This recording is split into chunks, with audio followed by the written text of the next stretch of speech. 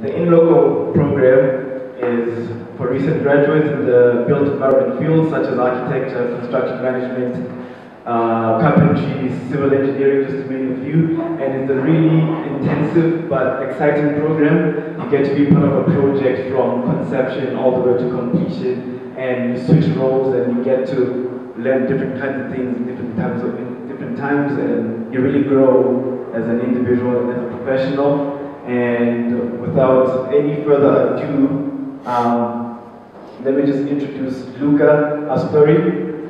He is an architect all the way from Italy, and he's worked with OMA, Ram Koolhaas, from 2006 to 2008, yes. And he's also worked with numerous NGOs in Kenya and Brazil and in Egypt as well.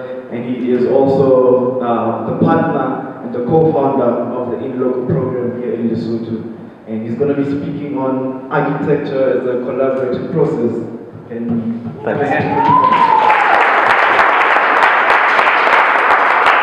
Thank you. That's, uh, thanks everyone uh, to host this lecture again. It's really a pleasure to be here again with you. Since we're a bit late, I tried to go to start. So I want to talk about architecture as a collaborative process.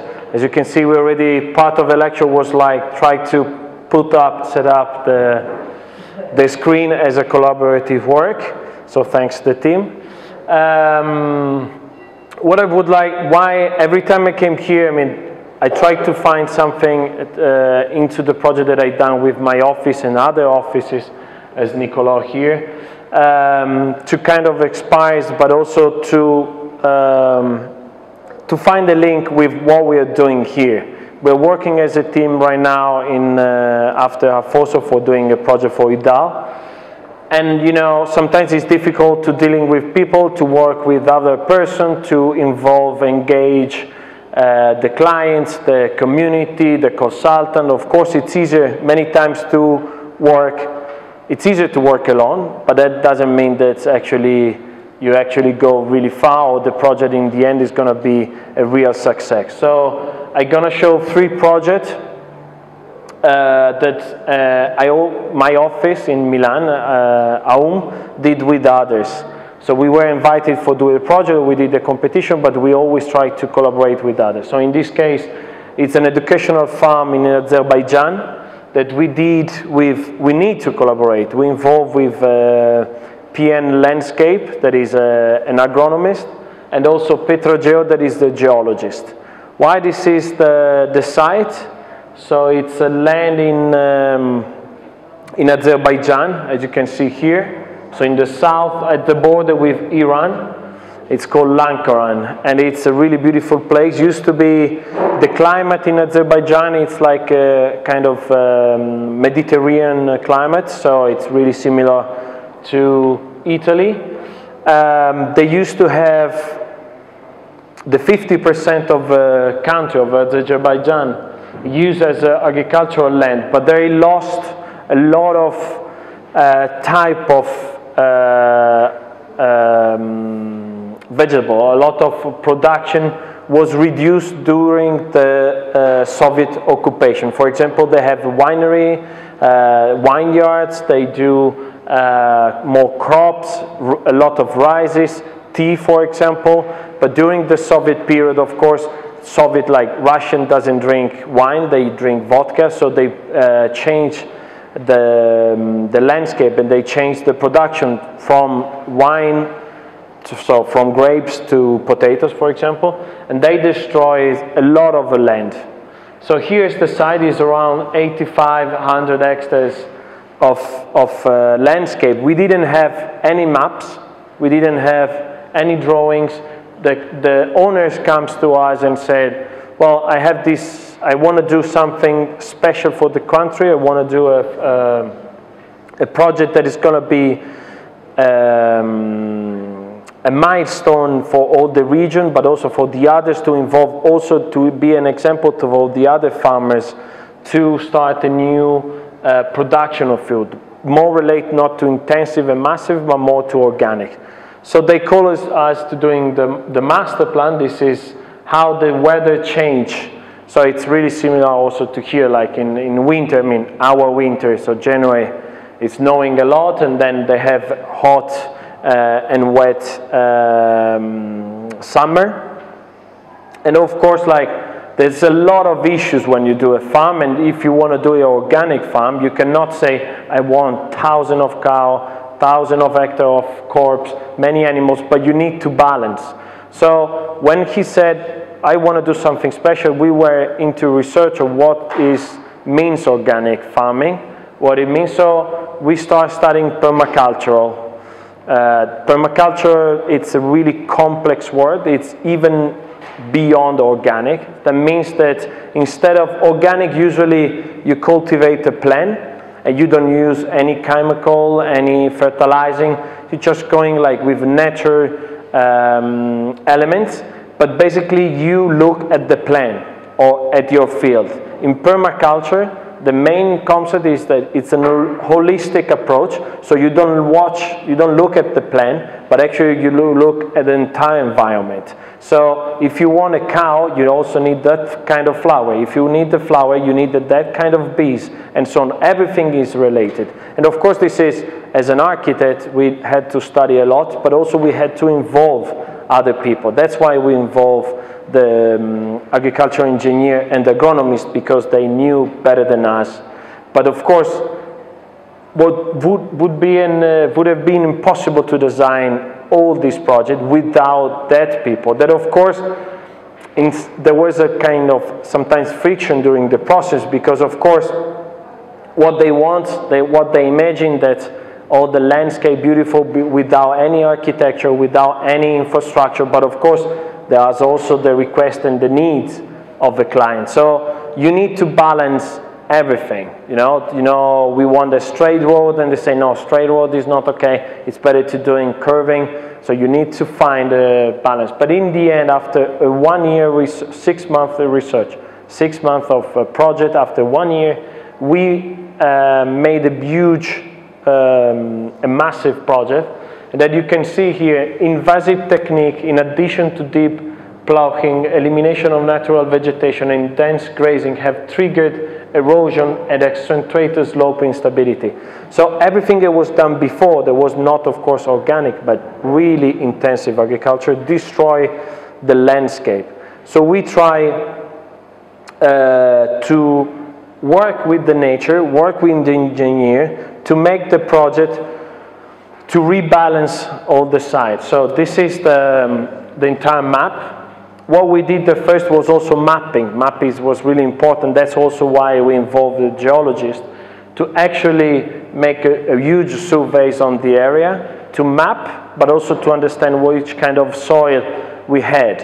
And we discovered that actually what was the hill, actually he said this sub, um, this layer of soil usually is like 50 meters below the real surface. So it means that during the Soviet, actually they put it down, they uh, literally demolish, I don't know how to say, like remove part of the hill.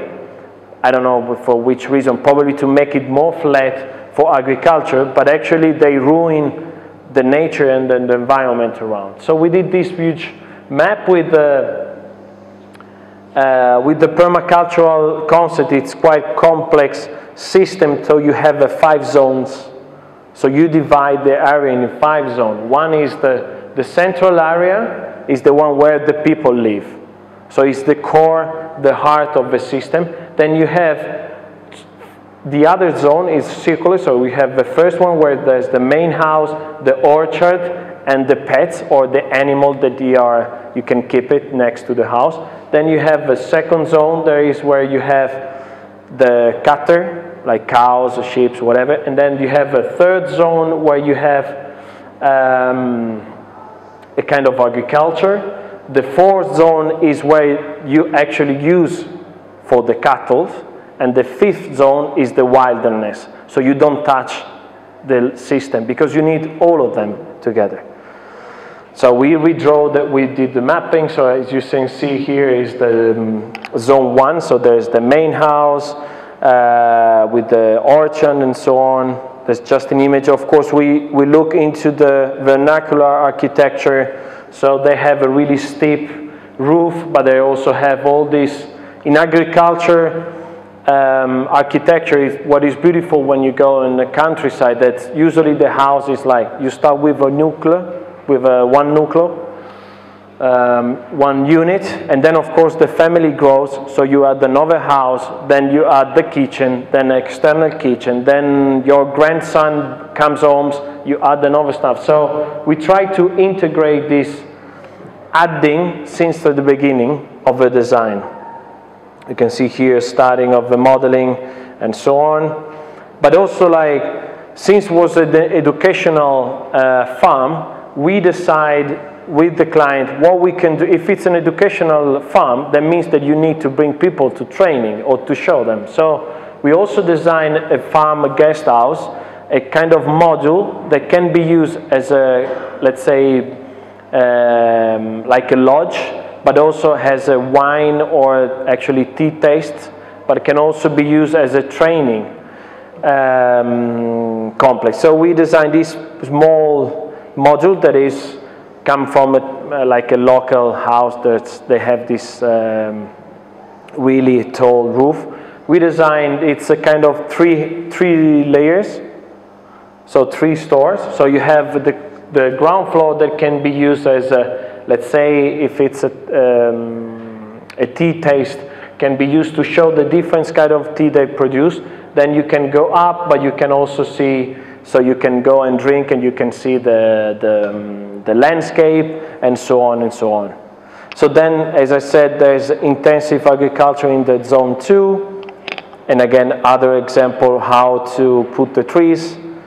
Here's some image of this kind of zone where you always need to balance the wildness and um, and the, and the part that is cultivated. So in the zone three, we have the rices area, so you can see because also where to put the, the, the rice field. Of course, in the lowest part of the valley, because the water anyway, you can collect the water easily instead of have the rice on top. All these things, of course, came to the, all this information came to the relationship with the engineer, agriculture engineer, and with the geologist. Otherwise, we might have be put the rice in the wrong position. Even if we are super smart architect, anyway, there are things that we don't know, right? So here again, working with them, how you prevent, like, if it's an holistic approach, so we, you need to keep the animal inside your land, not to keep them out. So what we do, it's introduce what we call like green fingers. So basically, we replant part of the forest along the edge of the different zones so they can be corridors for the animals. If you have a desert, let's say not a desert, if you have an, an intensive agricultural piece of land, the animal cannot go from one point to another one. They can, but of course they need to cross your farm, so you shoot them. Someone else will kill them. They need to cross the road, so someone, you know, go take over. So what you could do, you do natural corridors. When the animal, they are smarter than us, instead of walking here, they go through the corridor to cross your land. And this also bring more biodiversity. A land without biodiversity, it's a dry land. And also, of course, like we keep the, the wildness. So in between, we create a larger part of place that we didn't touch. Or actually, we increment this part of the trees and the forest. Here is all the forest. It's a park, natural park, that of course was destroyed during the Soviet. And we try to recreate this natural corridor and also use the trees as a brink, as a, a windbreaker, because there's always a, a wind coming from the same direction that of course is not good neither for the human beings but also for agriculture. And that's why we study this kind of um, grid to plant the trees that of course that we discuss with the, um, with the um, uh, agricultural engineer. It was a huge, huge process, long process, many discussions, many fights of course because maybe the wind trees was passing exactly where we want to put the house And the engineer and geologist will say, well, that's not the best post, even if it was the best view. So we need to shift the house. But in the end, the, all the process as a holistic approach again, it works really well because we know now that everything is in the right place because it was a, a huge uh, work. As you can see here, for this project we work like around, in a year, around 20 person. Many architects, engineer, civil engineer, agriculture engineer, all together. And as we state, we all know that our work, our work is humble, but the, the union of our humble works is extraordinary. So if everyone works together, they can even achieve a better project. This one is uh, another project in a completely different environment. This is a school in Malawi. It's actually the site, is this site here. There's a competition, we, we won the third prize that I did uh, with another architect, another office that uh, we both work uh, in many projects here in the continent, in the region. He also worked a lot with um, uh, Francis Kéré, that is architect from Burkina Faso, you might know him.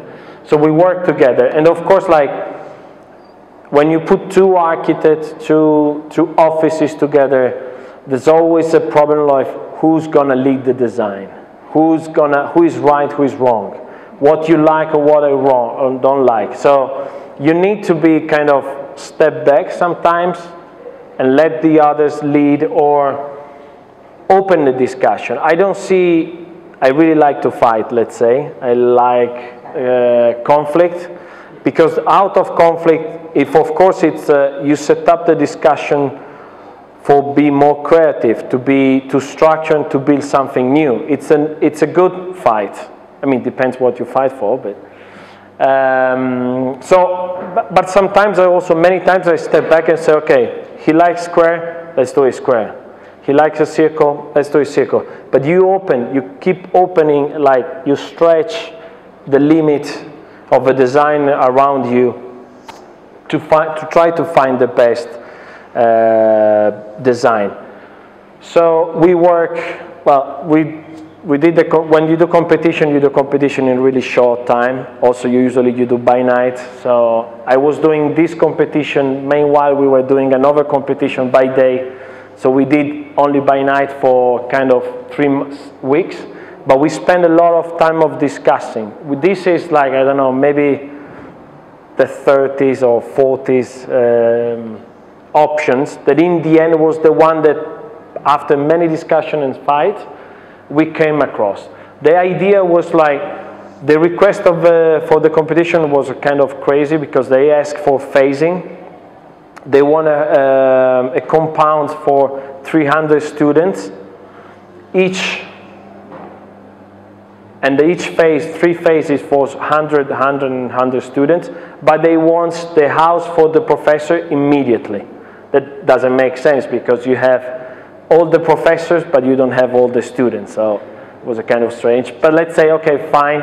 So we try to also, since we work a lot in Africa, there's lack of resources, there was not a lot of money, and they have laterite. I don't know, maybe here in the region you don't have, but in many parts of Africa, Mali, uh, Kenya, uh, Burkina Faso, Malawi, and um, Mozambique, you have laterite. It's basically a stone that you can carve, you can uh, take out from the quarry. So we study a module that can work for many purposes. So as a classroom, but can work also as an office, as a lab. So by studying one model, of course, you don't have a lot of time, but also if you need to build in phase and things that you start the first, but then other people will took over the project. They need to replicate the project many times. It's better to study one technique, one module, than the people they can do after by themselves. And of course, we study, they ask, it's an agricultural university. For fields, they ask for animals, but they ask for stud, uh, of, um, professor house, student house. The land in the end seems a huge plot, but in the end, there was not so much space. So what we decided in any work with court, so even if you start with phase one, then it will not look unfinished. So you have the entrance, you have the offices and the professor's house, and you have the first phase one. Then if it's not, if it's not finished, and of course you have one set of four student houses.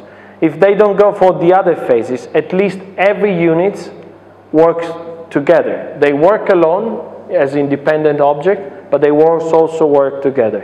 And each unit has a courtyard for doing a small vegetable garden for the professor, for the student, but also they have, if they don't build the other infrastructure, facilities, they can use all the rest for gardening. So as you can see here, there was like the idea to phase one, so the, the unit for sleeping, some of some schools, rooms, the, the, the library, that of course the library also, we put the library close to the, the roads, so it can be used by everyone. And then each court also, there was the topic of collecting the water, water harvesting, wind, vegetable garden. I mean, it was a really complex uh, topic because when you do such an investment, you need to think how to preserve water, how to preserve the land, or actually also use the land in a more uh, intelligent way. So that's the idea that in any unit, this is the classroom unit, you can have a space, a courtyard protected by the wind, where you, when the students can also exercise training to doing the, um, uh, the gardening and doing to farm. So that's the structure, that's the module. You have the walls. The walls, then you have kind of a ceiling done with the vaults and then on top you have a metal structure and then the metal roof. But also we provide shade and seat in um, exteriors. All this information came joining an engineer that also helped us with the environmental and the, the, the sun. As you can see here, there's like a, a small concrete, just a concrete um, foundation but then again with laterite, then you have wind crossing ventilation. The roof is detached from the real ceiling so that it can be a ventilation between the metal sheet roof and the ceiling. So that's also keep the air circulating. And of course, like every unit has a, a roof that brings the water inside. Can you, you can reuse or actually use for um, for farming. So here again, as you can see the unit, every unit there's a corridor outside, there's a seat and the shade, relate to the, of course, to the, the, the, the travel of the sun. There's a play in the place in between the, the units where the kids can also play. And this is the unit where you can see the, the prefabricated um, ceiling. Also, everything was kind of idea to prefabricate everything is the same that when you learn a technique, then you can keep doing and doing and doing for many other projects. Of course, thanks to Nicola that did the render. It's a beautiful image, I would say. Also, these things, sometimes like, you know, you, you collaborate with others. So I collaborate a lot with the office of uh, that I will show you the last project, and they are really good in images and representation among other thousand of things they are good of. So sometimes they help us to uh, doing also the images. And each, and here is the last project that is also a competition that I will share the presentation with Nicola, where we work together. Actually, he was invited to doing, you know, also the things to be humble. Humble, it's a good thing. You need to be strong and I mean, fight when you need, but you also need to be humble to understand when you can do things to, alone or actually when you need others. So his client was inviting him to doing a resort in Italy, a huge area.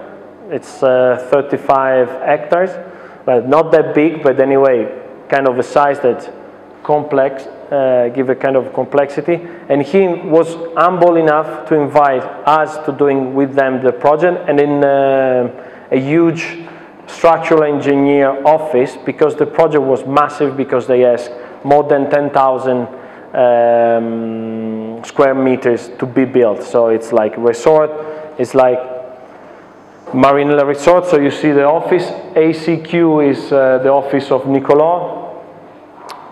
Uh, AEI is the prod is the engineer office, and AUM is my office. So we did this project together. So the resort was like is in an island, it's in Sardinia, and it's situated here. So this is the site, 35 hectares that right now are abandoned. There's nothing. And the client asked for a project that they asked for hotels, boutique hotels, sport facilities, restaurants, villas, and so on. And but also like to implement the landscape. It was a competition, so we worked together. There was a like moment of not friction, but anyway, where again, as I said, everybody, we are both architects, so you need to decide who's doing what. You need also to trust the others, but also able to challenge in the good way when something doesn't sound correct. So we did, my office did the master plan and the landscape, and his office did the part of architecture and interior for the villas. But of course, there was always um, an exchange of values, exchange of uh, ideas, exchange of concept, because in the end, we trust each other, and we know that sometimes if I do something wrong, he can say, hey, Luca, I don't think that maybe in the other way works better. So he was, here is the site. We have, um, um, on the south, we have a boundary for the, with, the, with the train. So also there's a problem because you want you do a resort, and of course the client doesn't, the people, the tourist doesn't want to see the the train station and all the trains. So we have to create a buffer zone here to protect the site from the train. And then we design, we, we uh, sorry, we split, we organize the site in three different areas. One, the first one is the, the facilities where you enter. And then uh, so you have the restaurant, everything that is more related with the public, so it's semi-private. Then you have the hotels and the villas, and then you have the last part that is the most natural part that also we didn't touch that much. The idea was like not to change the landscape because the landscape as the view is wonderful, but actually to foster the existing landscape as it was. And also when you do this, when you do any kind of this project, a house from a really small space to a bigger one, you need to think about the, um, the access and the flux of the people. If you have the tourist, then you have the staff, then there's need someone else, someone else to come and clean, and then there are also leisure. You cannot make the same path for everyone, otherwise they cross every time. So we thought there would be a nice idea to have a different access and different uh, roads for the different users. So here is the first, uh, the entrance, what we call entrance clusters, where we have all the facilities that are not related to accommodation, but for the people that live, that's gonna rent the house there. So here is the second part, the central part with the villas, that uh, Nicolai will explain later. And here, of course, the landscape, it's more artificial, it's more design, it's more, it, we call hardscapes. And of course, from here, from the villas, where there are the, view, the beautiful view toward the sea, here is where we decide to not change too much the landscape, but leave it and foster the natural and the indigenous plants. So here again, of course, we, there was a big issues of privacy because when you have many huge villas and people that comes and want a kind of a privacy, we also use the landscape to kind to protect the views, protect the rooms, and so on. Other images. I'm sorry, it's a bit scattered the images pixelated, but anyway, this is what we call the loop. So we try to reuse all the trays, the existing trays that we found on site and to connect them with this loop that is a, a, what we call it like a, a, leisure trade. So the people can use those parts that it, there is no, there's no volumes, there's no construction, just for pleasure. It's like to walk here up on the highlands with beautiful hills. You just walk around. What we did is like we create along the loop some moments, few moments where the people can stop and do activities.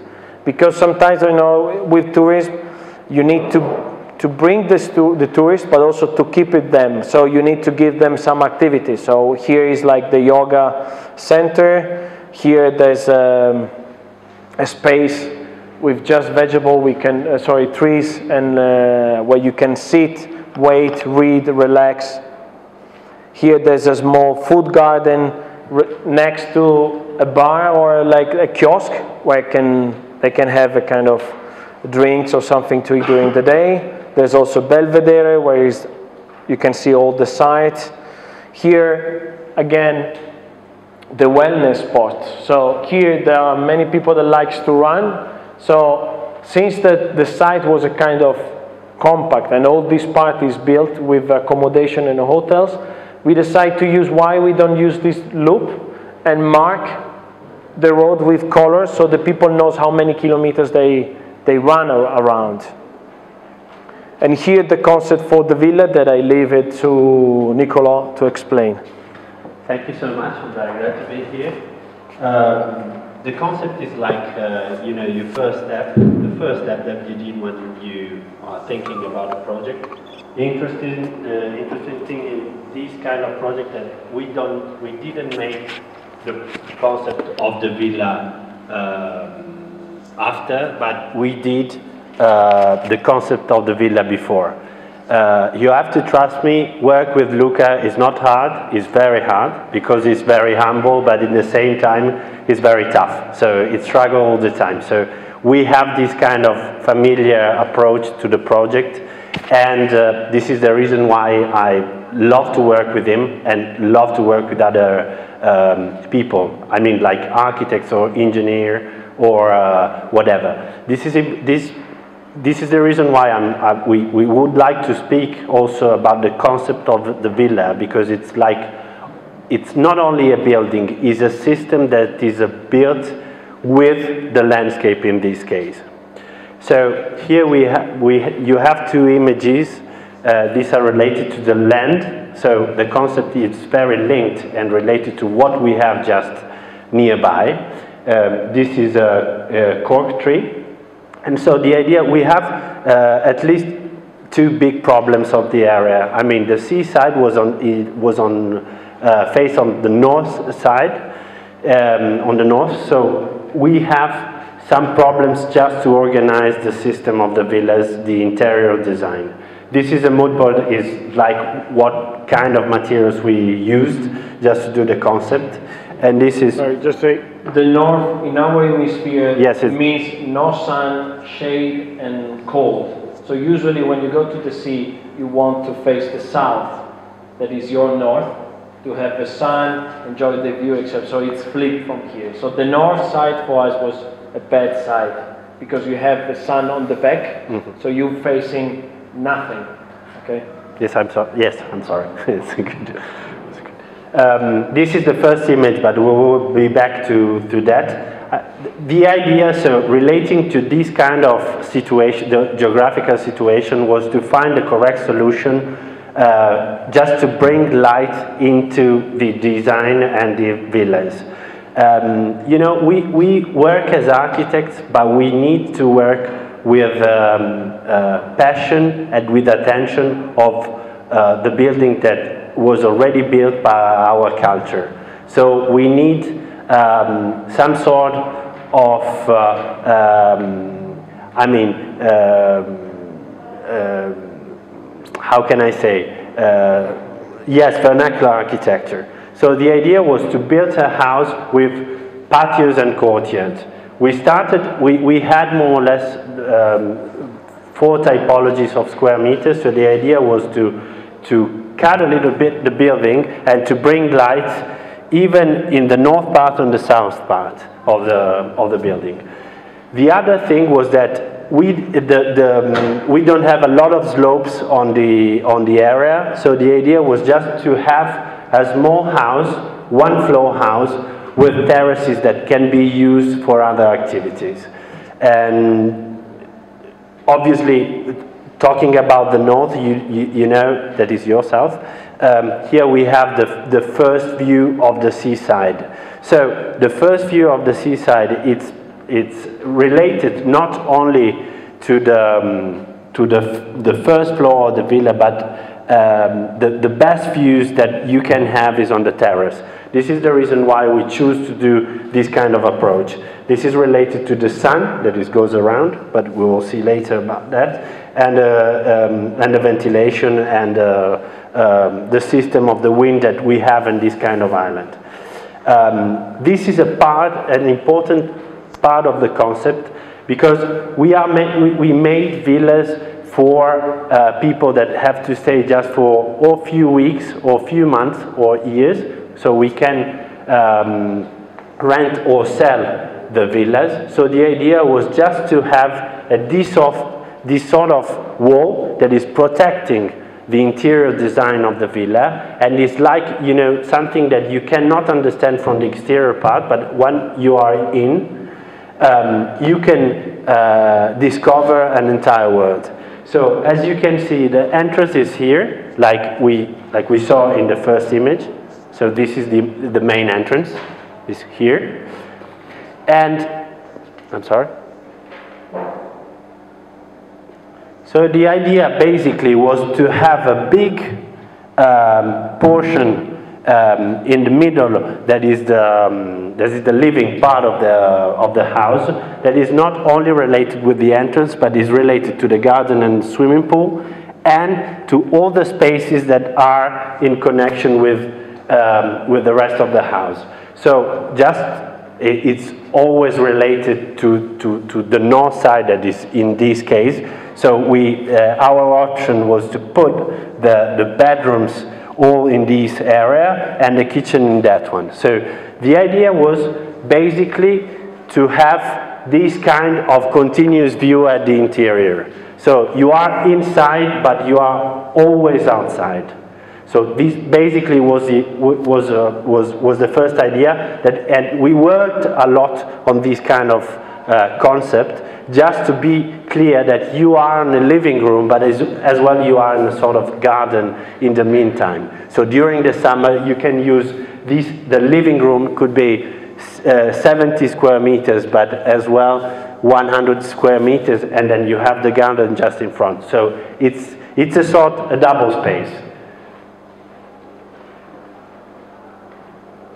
you, and you can see in, in, in the meanwhile, you are in the kitchen, but as well you are outside in the garden. So it's a sort of literally of it's a courtyard at the end, but the patios helps the light to it, it help us to bring the lights in.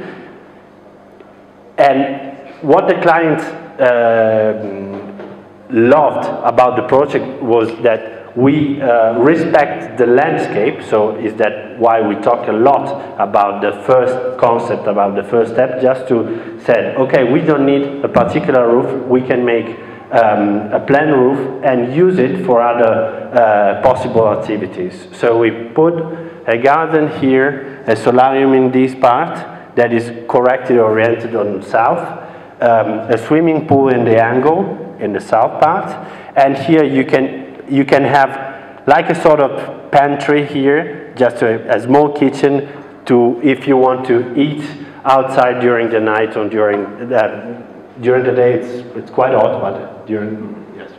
Anyway so you can see this kind of relation.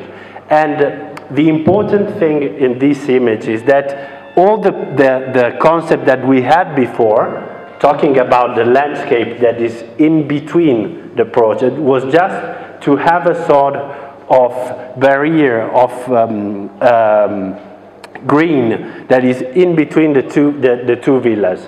So in the meanwhile, we, we, we are talking not only about a concept that is related to the interior. These, these are images, you can see the, the swimming pool that is um, related as well to the kitchen and to the exterior part. It's true that here we work um, not so much with the client because was a um, we yes was a competition. So we had um, some indications about the square meters, the approach, but we built our kind of idea um, related to the landscape and what probably they really need um, and they lost in the in the next uh, in in the in the project that we had before.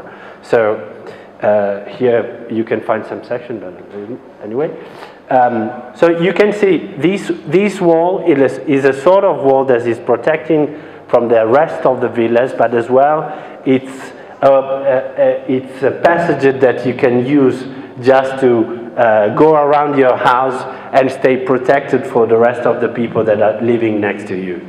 The, the, the interesting thing is that all the villas are looking the seaside, so the, the, the, um, the image, the other image is completely different for the first one. So here we are completely open to the landscape and we are close to the, to the south part of the, um, uh, of the area that is linked to the facility that Lucas uh, explained you before. Um, here we work with the typologies, but it's, um, I mean, it's, it's, just a question of square meter. Um, and then this is another imagine, so that's, we finished our presentation, I think. I bring uh, to, back to look at the... Thanks. No, just like, um, also like just to say to the fellows and everyone that also this competition was done after the other one of the Malawi school, so it was like, and before came here in June, June, July, it was a really tough period. And of course you need to match all these things, so competition, but then you also have the other work running, construction site, university, so all these things we work like, the last week I think we, from 9 to 3, 4 a.m. every day to finish because also I'm humble, but he's not also really tough, so super precise in all the things to make everything perfect. Perfection doesn't exist, but you can get close, and of course, when you work with others, it's difficult because, of course, like you see in the renders, all these, all these plants, they hate me because, of course, we choose every single plant here and here, flowers and trees and they were doing the renders and they hate us. When they, of course, they sent the first preview, was beautiful, but then my, my partner in the office says, this is not the right position for the trees. We need to, it's not big enough, it needs to be here. And I say, okay. I say, okay, Nick, it was 2 a.m., so you need to shift a bit the trees because it's not exactly where it should have been. You know, and you work like this, and then, but then in the end, the project is finished it can be something else probably, can, can change again and again and again in the next phases, but still that all this work together with many architects brings to a, a, building that I'm sure I couldn't be designed alone, and even uh. Maybe it's something different, maybe it's still beautiful, but not this one, where we believe the collaborative process is a good answer for the project, as for the one where we are doing now Okay, if you have any questions, we would be happy to answer. Thanks a lot again.